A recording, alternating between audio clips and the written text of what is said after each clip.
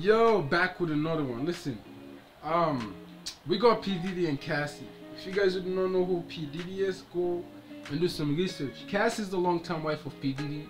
Um, P Diddy is a longtime hip hop mogul. Um, you know, like some people might say he's a genius, some people might say he's a he's a legend. But let me tell you one thing: he has made a lot of money doing what he's doing. But some say, you know, his acts might be catching up to him. So Cassie, the longtime wife, files a $30 million lawsuit against P. Diddy, claiming that for years he abused her physically. And not just that, but sexually, he will actually pay prostitutes, especially guys with a big stick, to have a sexual intercourse with his wife while he watched and or masturbate. Um, I don't know how true this is, but this shit is sick, bro. What do you guys gonna think about this, right? Um, well, no further ado, let's get back into it. She she also accused she also accused him of um, of um, him forcing of sexual abuse, where he P Diddy would force himself on Cassie, and um, P Diddy responds with a strong defense, calling Cassie's claim a straight up money grab.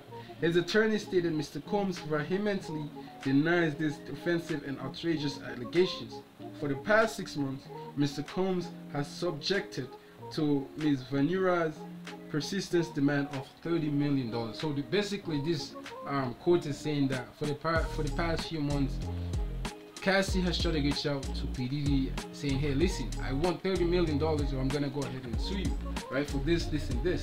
And P Diddy been trying to play it off. You know, when you have money, you can do a lot of shit and think things is not gonna catch up to you. Um, so short story short, short story short, Cassie filed a thirty million dollar lawsuit.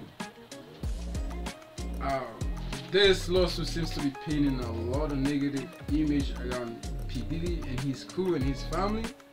But um, I'm just here to record. I'm just here to give you guys the news as it is. And with no further ado, so P Diddy's legal team also claimed that Cassie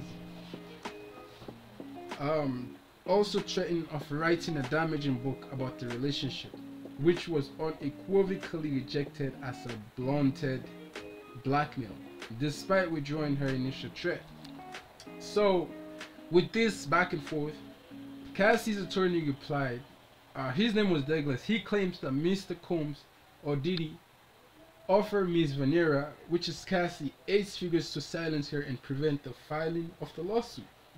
Mr. Combs Mr. Combs, Daddy, and Miss Cassie Ventura reached a settlement in a lawsuit despite the comments made by, by both Miss Venera and Mr. Combs' attorney.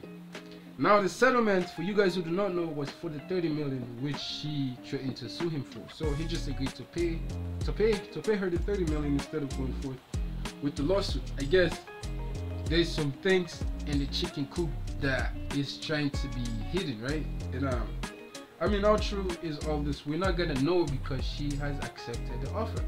I guess she was doing this for some money grab after all, or maybe she liked, or maybe there's actually some truth to it. You know, when you when you're in Hollywood and you know, rich people are sick. You know, they do a lot of do a lot of weird stuff, a lot of weird parties, orgy and stuff like that. When you're used to that, and you just wake up in the morning see, I wanna I wanna take a shower and you can call someone to come shower you.